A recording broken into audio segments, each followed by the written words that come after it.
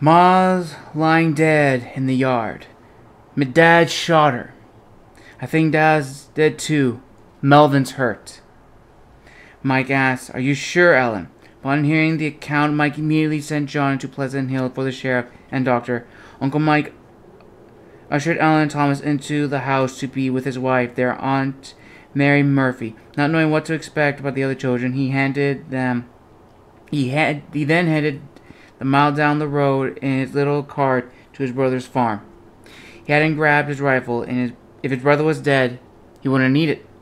From the back corner of the weathered farmhouse, little Mary continued watching Mike balance Joseph's three-legged chair on the stump. She could not read or hear his thoughts, but she would listen to him and Melvin. The air was dead and quiet because Melvin was talking, uh, talking out across the backyard, and Mike was sitting out where she could hear. She almost comprehended every word they said.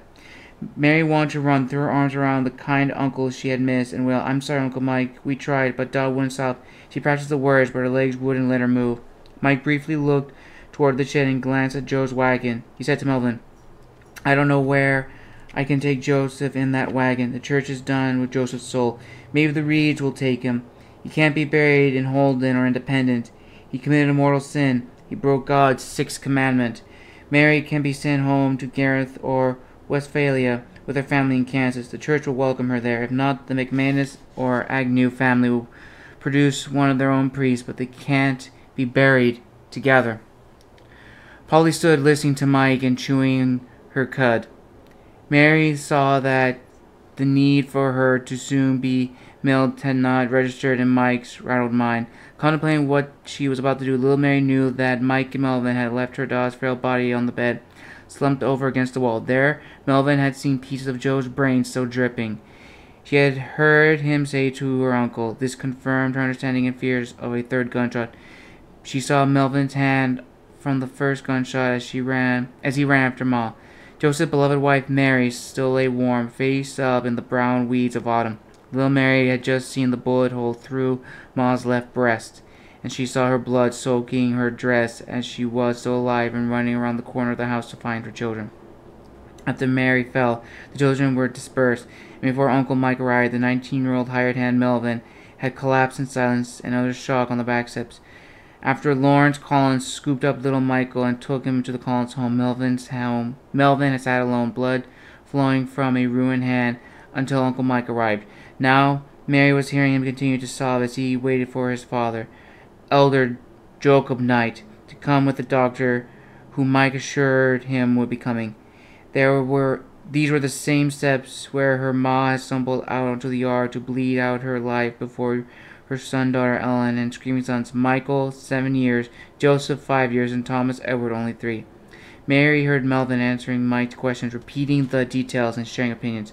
I don't understand Michael. He loved her. He didn't have to kill her. The family would have been fine if finding Kansas after he died. He should have known that. I think he was dying. He was in pain and thought crazy things. The yelling between Joseph and Mary was desperate, and the girls were both in the house. Mary stayed in, but Ellen came running outside yelling, Dad's gonna shoot Ma! Do something, Melvin! Then she stayed outside with the boys like she usually did. That's when I rushed into the house and tried to help Mary. Now standing behind the south end of the house, little Mary could hear the echo of the catastrophe that brought audible wails of grief from Melvin as he recalled the event. Mike asked, How you doing, Melvin? Melvin answered, My hand's on fire and throbbing. I can't, and I can still see little Mary rushing past me with Annie before it happened. She almost knocked me over. Before she took Annie and ran, that little girl in front of a raging father with a gun yelled out, You can't do it, Dad. You can't take away our Ma and our Annie. Your soul will burn in hell, and you know it. Before she ran now, she said, Christ before you, Dad. Christ beside you, da. Stop it, da, or we'll be hating you forever then. Melvin went on about the unfolding events in the afternoon. Little Mary looked straight at him, took Annie from her mother, and wailed, Christ shields us, Annie. Then she fled out the front door and, approached, and across the porch, allowing the door to slam when Joe shot me. He shot me when I lunged with the gun. I could not take it from him. When it went off, I was I wasn't sure it was the door of the pistol I heard.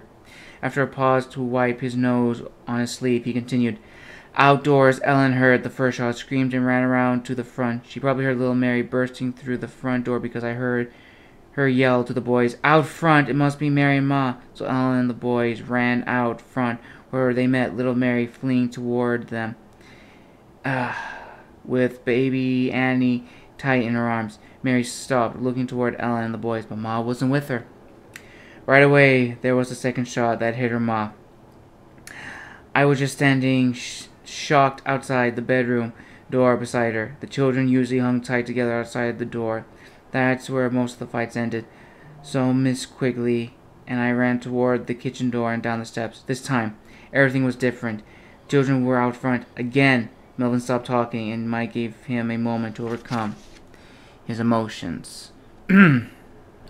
as Mary waited for Melvin to regain composure, she felt as though she would shatter. She felt tears streaming down her face, and she found herself shaking with a kind of rage she never felt before. In her nine-year-old soul, Mary realized that the responsibility to terminate life and destroy their family had been passed to a sick, withdrawal, crazed drunk with a gun in hand. He had neither right nor need to kill Ma, but Da no longer possessed rational or spiritual gumption to rise above his misery. His soul was gone. All he had left was his gun and his sickness.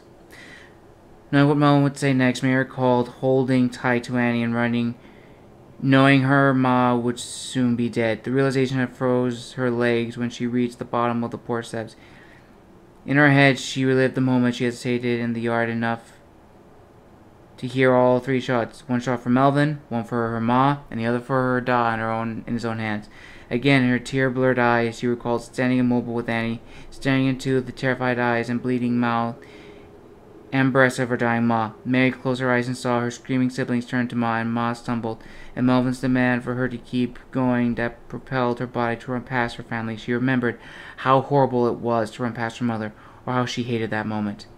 As much as all of them.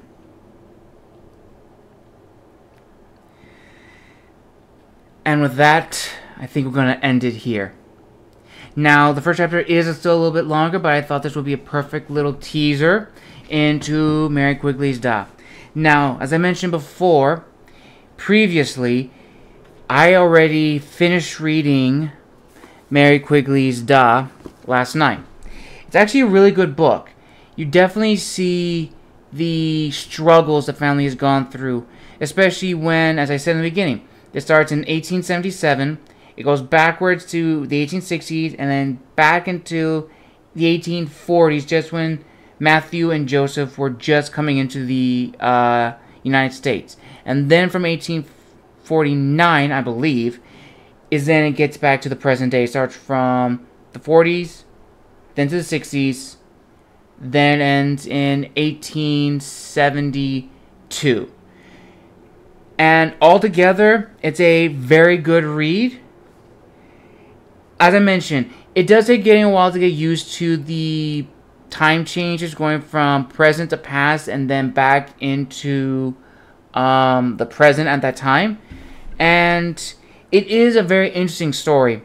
I love the fact how the author Mary Jaffe writes her family's story in excruciatingly painful detail in a good way. It's a very great story, a very interesting read, and I highly recommend you picking up Mary Quigley's Da. If you love stories like this, if you love ground historical fiction stories following families in times of despair and really seeing, you know, what life was truly like for these immigrant families coming to the Americas, then this is a fantastic read. Now, my overall rating usually is 5 out of 5. I would give this a solid four out of five, um, because it, like I said, it did take me a while to get used to the um, presentation of these narrative, going from present to past and then back into present. But altogether, it's a very fascinating story. It's very interesting. It does contextualize who these characters are in this time, especially for Joseph, because you do see his journey later in the story of how he goes from this idealistic, brash young man into this drunkard that we see in chapter 1. It's a very interesting story. The family dynamics are really well written out. The author has done painstakingly tons amount of research to truly uncover her family's dark secret. And ultimately, it's very, very different historical fiction story than what I'm typically used to. Most historical fiction stories that I read are mainly more about battles, wars, um, conflicts, stuff like that. But very rarely do I read any historical fiction set in the last hundred or so something years. But this was a very good story, a nice detour from what the stories I typically read.